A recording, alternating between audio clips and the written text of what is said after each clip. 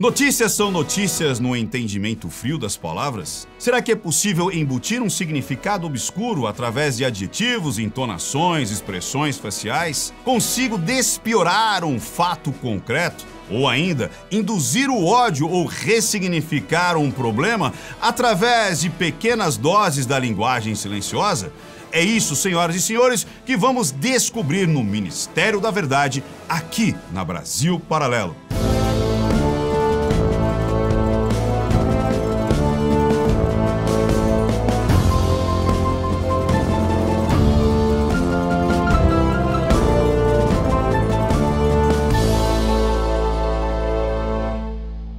Hoje é um programa especial.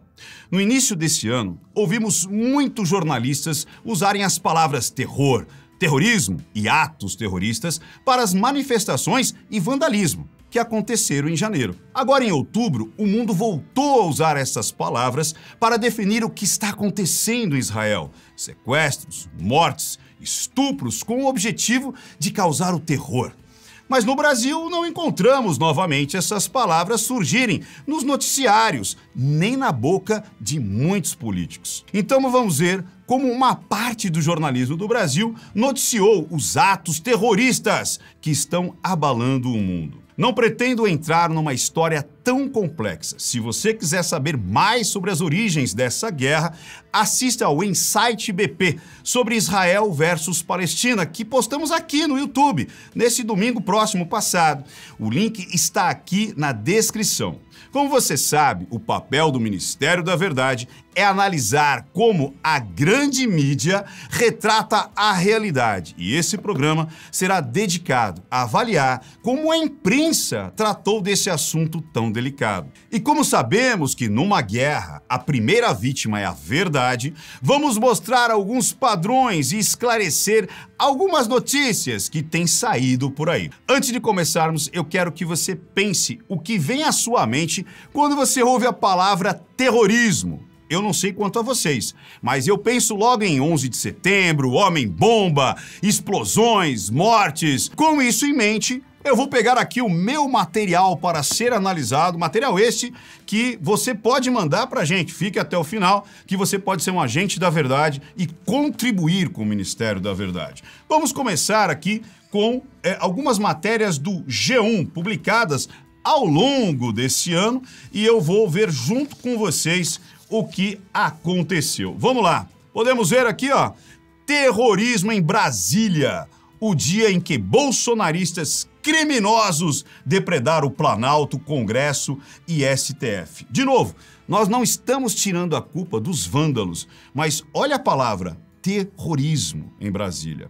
Mas a gente pode de repente ver uma outra matéria. Olha aqui do G1 também. PF cumpre mandatos em operações que investiga atos terroristas em Brasília. De novo a palavra aqui, terror, sendo colocada em pauta, num título para chamar atenção. Vamos ver mais alguns aqui, ó. Olha isso aqui, ó.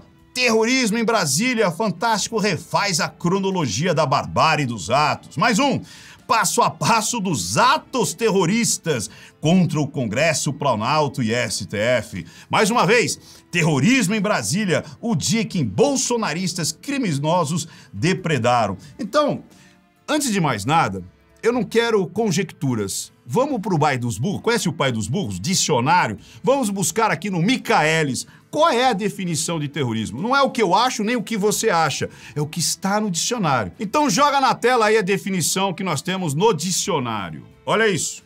Ato de violência contra um indivíduo ou uma comunidade com o objetivo de provocar transformação radical da ordem estabelecida.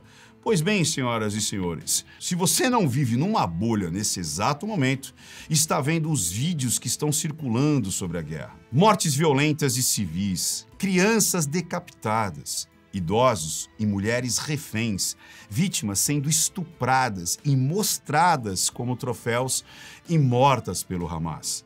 São vídeos tão pesados que, se nós divulgássemos aqui, a chance desse vídeo que nós estamos gravando agora ser removido pelo YouTube é enorme. o Hamas usa de violência contra vários indivíduos e tem como objetivo uma transformação radical, a instauração do Estado palestino em Israel. E muito mais, é muito mais grave, porque no próprio estatuto deles está explícito: eles querem exterminar o povo judeu. Ora bolas! Pela definição, isso daqui é terrorismo, claro, sem sombra de dúvidas. E certamente a mídia dotada de profissionais gabaritados e que estudaram anos para se formarem chamou as coisas pelos nomes que elas são. Vamos dar uma olhadinha aqui o que eles falaram sobre é, os conflitos?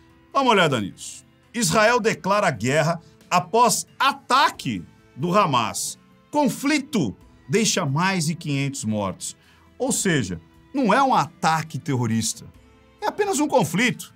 É um conflito entre o Hamas e Israel. Quando a gente ouve isso, o que, que parece? Que é uma briga instaurada, que não existe um lado atacando o outro, que não existe o terror, mas é um conflito que está acontecendo ali. Ah, e nas letras miúdas também. Dá uma olhadinha nisso, ó. O grupo islâmico bombardeou o território israelense. Poxa, grupo islâmico pode ser até um, um, um grupo ali da paz, pode ser um grupo da, do, do truco, pode ser qualquer grupo. Mas não, eles evitam, eles é, excetuam usar as palavras terror, terrorismo. Por quê? Não sabemos, mas talvez tenha sido um caso isolado. Vamos ver se outro jornalista teve culhão de relatar os fatos como eles são. CNN Brasil. Em entrevista à CNN nesse domingo, dia 8, o brasileiro Rafael Birman, que esteve no Festival de Música Universo Paralelo no sul de Israel, no momento que o grupo palestino Hamas. Cara, quando fala, me lembra, sabe o quê? É grupo de pagode, grupo de samba. Ah, cara, por que não chama os caras de terroristas? Olha as escolhas dos nomes, dos adjetivos, como eu abri aqui o Ministério da Verdade. Olha como você tirar ou acrescentar adjetivos, parece que muda completamente tudo. Agora é só um grupo palestino que começou a atacar a região, relatou como fugiu das explosões. Vamos ver mais um aqui, ó, Estadão. Israel reage à operação militar do Hamas. Quando você ouve operação militar, o que, que vem na tua cabeça? Militares. Os militares existem abaixo de um governo constituído. Então você imagina o quê? Que é uma briga entre países, que é uma briga, que é uma guerra, uma guerra formal. A guerra é ruim, é destruidora, mas é uma guerra que, no mínimo, você tem regras. Uma regra, você tem tratados. No terror, não. No terror não existe tratados, não existe regra. Você vai para matar, você vai para humilhar, para sequestrar, para estuprar. Mas será que esse tal grupo armado que mata, estupra e faz pessoas reféns se parecem com os terroristas de Brasília? Vamos refrescar a memória, voltar para os acontecimentos de Brasília, estes sim, chamados pela mídia como atos terroristas. Coloca na tela a notícia de novo aí, no, na época do dia 8 de, de janeiro. Vamos dar uma olhada? Vídeo: 173 presos por atos terroristas de 8 de janeiro são liberados em Brasília.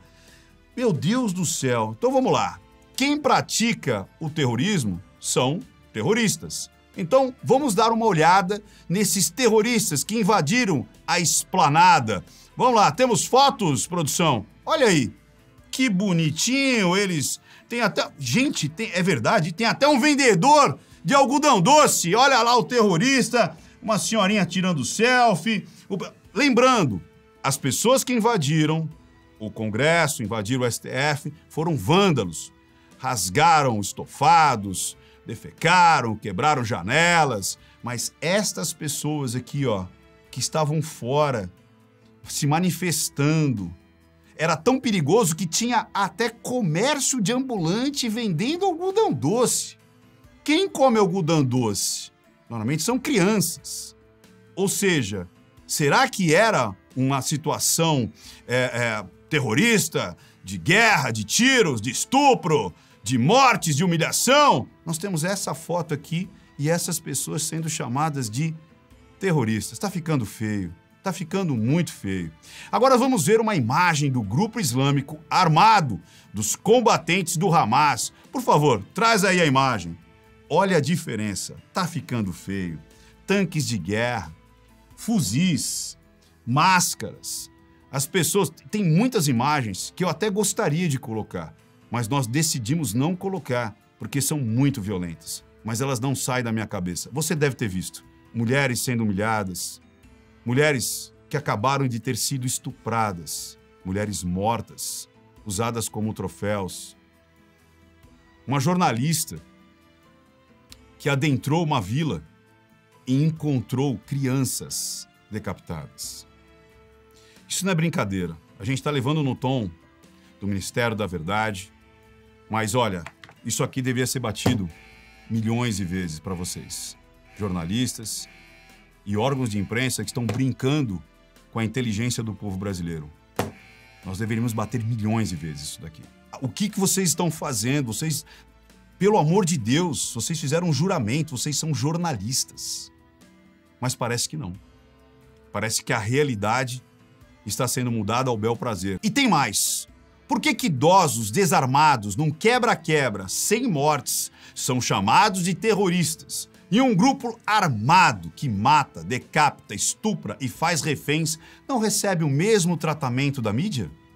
É sempre bom lembrar: quem faz atos de vandalismo deve ser responsabilizado e pagar por isso. Agora, ser classificado como terrorista por isso, pela imprensa, enquanto os verdadeiros terroristas são chamados de outros nomes, isso é inaceitável. Por que será que a Globo faz tanta questão em evitar o termo terrorismo para esses animais? Ora, se os vândalos de Brasília são terroristas, e esses também são terroristas, qualquer pessoa vai perceber que há um exagero em chamar velhinhas de Brasília pelo mesmo nome. O que pode ser pior que um terrorista? O próprio diabo na Terra? Por isso, eles usam esses tais grupos extremistas armados, achando que ninguém vai perceber. Essa situação me faz lembrar de uma cena de um filme antigo. Quem lembra? Apertem os cintos que o piloto sumiu. Vejam como seria o embarque em um voo caso a segurança fosse feita pela imprensa brasileira. Roda o filme. Not so fast, Richie. Okay. Ora, ora, como vocês viram, aquela velha frase famosa a vida imita a arte. Ou seja, algo que era um humor está virando realidade. Olha, seria muito engraçado se não fosse cruel o que está acontecendo. Mas vocês acham que eu estou exagerando? Vamos ver outros exemplos que eu encontrei aqui na mídia. Dá uma olhada nisso. Não, não, a coisa não para. O negócio aqui tá demais. O Globo. Combatentes do Hamas invadem 22 cidades de Israel e fazem reféns, diz porta-voz militar. Gente, quando alguém fala combatente, sabe o que eu lembro? Lembra do, dos combatentes de 32? Lembra dos pracinhas que foram lá para a Segunda Guerra? Eram os combatentes. Não um grupo terrorista que não tem regra, que não tem pudor, que não tem nada na cabeça. Eles só querem o terror, causar a morte, causar a ira, a raiva. Olha isso aqui, ó. Combatentes, mais uma folha. Parece que eles são, né, tipo irmãozinhos, né? Combatentes do Hamas fazem massacre e mantêm reféns no sul de Israel. Não são combatentes. Combatentes foram os pracinhas que lutaram na guerra. Foram os combatentes aqui em 32. Isso aqui é terrorista. Chame as pessoas pelo que elas são. Chamem as coisas pelos que elas, pelo que ela é. Não tente inventar, porque o povo não é bobo e agora tem mais. Tem o Ministério da Verdade. Olha aqui, ó. Você vai tomar a sirene, senhor jornalista. Folha também vai tomar a sirene. Aqui não vai passar nada. Olha isso aqui, ó. CNN. Israel promete maior mobilização da história do país em meio à resistência de militantes do Hamas. Vamos ver aqui embaixo? Em Gaza, controlada pelo Hamas, militares israelenses realizam os ataques de retaliação mais intensos da história, matando cerca de 500 pessoas desde sábado. Olha isso, cara. Primeiro que é resistência de militantes do Hamas. Quando alguém fala militantes para você, o que, que, que vem na tua cabeça? Me vem aquele pessoalzinho, sabe aquelas faixas? Justiça, justiça, umas bandeiras, um bonezinho. São os militantes que militam por um partido, por uma coisa. Cara, não é militante, não, cara. É terrorista. Agora, o ao contrário, Como é que é? Militares israelenses realizam ataques de retaliação. Ou seja, uma resposta de defesa vira um ataque de retaliação. Gente, isso aqui não dá. A sirene vai piar muito. Mas eu tenho certeza que você, agente da verdade, está percebendo cada vez mais. Por isso, compartilhe essa análise, compartilhe o Ministério da Verdade, porque as pessoas precisam acordar. Nós não somos cegos, não somos ovelhas. Nós precisamos acordar, porque é para que eles aprendam a dar o nome como elas são. Até porque os ares estão mudando. Porque vocês, vocês, agentes da verdade, estão fazendo os ares mudarem. Está acontecendo alguns pequenos milagres. A coisa chegou a tal ponto que alguns jornais tiveram que ceder. Vejam o que fez o Estadão. Aquela notícia sobre operação militar virou terrorismo. Eles arrumaram, eles editaram. Como é que era a notícia? Vamos ler aqui, ó. Israel reage à operação militar. E como é que ficou? Vamos ler agora? Israel reage a ataque terrorista do Hamas e ataca faixa de Gaza. Sabe o que isso aqui me lembrou? Lembra do Chaves? Como é que era? Era operação militar. Como é que ficou? Ficou. Mas como é que era? Como é que ficou? Pois é, o jornalismo brasileiro está igual o Chaves ele não sabe exatamente as palavras que usar, então eles ficam ali. Mas tudo bem, vamos, vamos aplaudir aqui, né? Corrigiram, estão mudando os ares, então aprenderam com o Chaves que como é que era e agora como ficou de verdade. E temos mais um aqui, né? A Folha também. A Folha foi mais sincera, admitiu que não considerava o Hamas terrorista, mas que agora vai tratá-lo assim. Parabéns, Folha. Vamos ler, ó.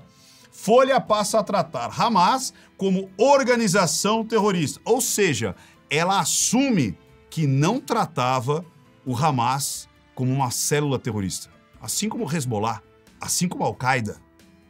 É os nomes certos para as coisas certas.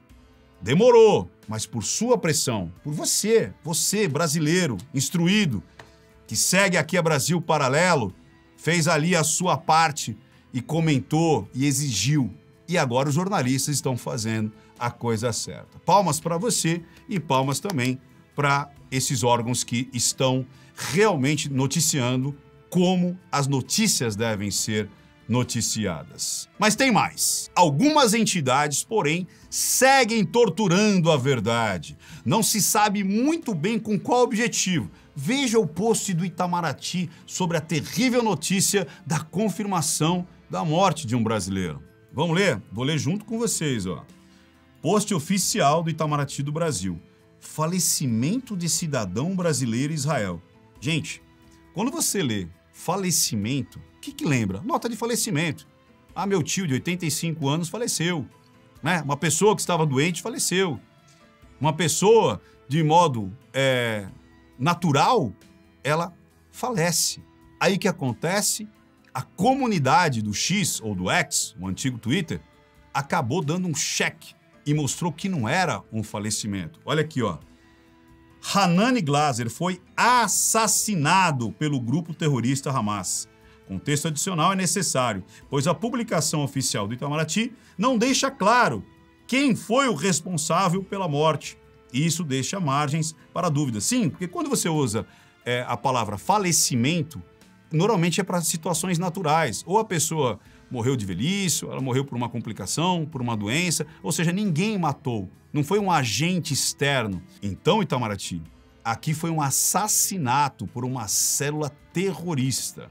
Vamos dar nome aos bois. E falando nessa triste notícia sobre as vítimas brasileiras, que já são duas até o momento dessa gravação, finalmente o nosso ministro dos Direitos Humanos, Silvio Almeida, finalmente se manifestou. Ele estava calado até agora, mas resolveu se pronunciar um pouco antes da gravação do nosso programa. Vamos dar uma olhada no tweet do ministro. O Ministério dos Direitos Humanos e da Cidadania lamenta profundamente a morte do cidadão brasileiro Hanani Glaser, vítima dos atentados do dia 7 de outubro em Israel. Primeiro, você vê que ele não usa a palavra assassinado, ele foi assassinado. Ele não morreu. Quem morre, morre. Né? Você fala, ah, morreu. Morreu. Não, ele foi assassinado. Ele evita falar assassinado. E também ele evita falar sobre o grupo terrorista. Ele diz o quê? Um atentado. Atentado, quem cometeu esse atentado? Foi um grupo terrorista. Então ele evita usar a palavra assassinado e evita usar a palavra terrorista. E tem mais. Esses ataques começaram no dia 7. A primeira vez que ele se pronuncia é no dia 10. E ainda retuitando a conta oficial do Ministério dos Direitos Humanos, que também, né, é, ele é o responsável, diz o seguinte: nota, morte do cidadão brasileiro Hanani Glaser. Ou seja, nem na conta particular, nem na conta oficial, você descobre, você vê, você lê a palavra assassinado, que foi o que aconteceu, infelizmente, com esse brasileiro. Agora, será que isso é o costume? Será que ele normalmente utiliza a palavra é, morte em vez de assassinado? Porque aconteceu, vocês sabem, infelizmente, aqueles médicos lá no Rio de Janeiro, que um deles foi confundido por um traficante, lá um miliciano, e eles foram assassinados. Mas o ministro, poucas horas depois, tuitou. Vamos ver o que ele tuitou poucas horas depois. Nós temos aqui, ó, pode colocar o tweet do Silvio Almeida, o ministro né, do Ministério dos Direitos Humanos e da Cidadania. Horas depois, foi com imensa tristeza que recebi a notícia do assassinato dos médicos Perseu Ribeiro de Almeida, Marcos Andrade Corsato e Diego Ralph Bonfim. Como já disse o ministro Flávio Dino, o governo federal irá acompanhar as investigações, especialmente diante da possível motivação política das execuções. Então veja é, o grau que ele diz sobre os assassinatos. Foram execuções. Fica o meu abraço solidário e fraterno aos familiares das três vítimas, dentre eles, meus queridos amigos, os deputados federais Sâmia Bolfin e Glauber Braga, porque um dos médicos era irmão da Sâmia Bonfim, deputada do PSOL. Senhor ministro, as pessoas simplesmente morreram, como eu disse, por, um, por uma situação de doença, uma fatalidade, ou foi um atentado terrorista? Isso não pode passar, isso não pode ser normalizado, senhor ministro, não pode. Fica feio, mas eu garanto que foi uma falha. Eu, eu não acredito que o senhor vai tratar esse assunto dessa maneira. Nós estamos de olho, mas eu tenho certeza que não vai piar essa sirene. Eu confio em você. Eu tenho certeza que você não vai se abster da verdade. É isso, gente. Hoje o programa foi focado nesse tema horrível que é a guerra e que fica pior ainda quando percebemos uma mídia que não está comprometida em trazer a verdade dos fatos. Então, senhoras e senhores, creio que chegamos num ponto sem volta. Não é uma questão de esquerda ou direita, mas sim uma questão humanitária. Não dá mais para esconder o sol com a peneira, confundir o terrorismo com senhoras em reza. Não dá para justificar um estupro como sendo uma diarreia. Os lados estão bem claros e definidos. Manifestação é manifestação, vandalismo é vandalismo. E terrorismo não é combate nem militância, é ódio, estupros, morte e massacre. Hoje foi muito pesado e temos respeito a todas as vítimas, mas a sirene não podia deixar de piar. E que Deus receba as vítimas e conforte o coração dos seus familiares. Chegamos ao fim de mais uma análise do Ministério da Verdade aqui na Brasil Paralelo. E se você quiser participar e mandar também os seus recortes, as suas indicações, aqui para o Ministério é muito simples. Mande um e-mail para ministério da verdade brasilparalelo.com.br. Se você se identificar, eu vou ler o que você mandou para a gente e também dar os créditos. Nos vemos na próxima análise.